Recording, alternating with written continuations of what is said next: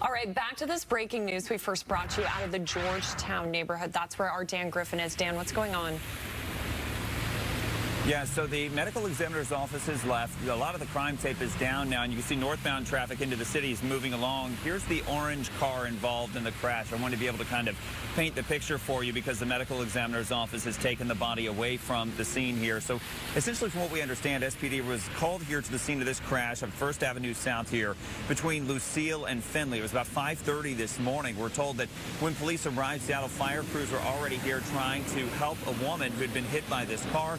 She was pronounced dead on the scene. So we're told that the man who was driving the car, a 64-year-old man, was driving southbound here on First Avenue South when he hit the woman. So what's not clear at this point is why that woman was in the road in the first place, where she was going. But what investigators found was that the man driving the vehicle apparently was showing signs of impairment. He has been arrested for vehicular homicide. So again, Back here live, you can see the southbound lanes here still appear to be blocked on First Avenue South as they continue to uh, get this car taken care of to get it towed away. Uh, and we will be here following this, trying to make sure that we can keep uh, you up to date on what's going on with traffic here. But again, 64-year-old man has been arrested here, and a woman has been killed in this crash. For now, we're live here in Georgetown. Dan Griffin, Fox 13 News.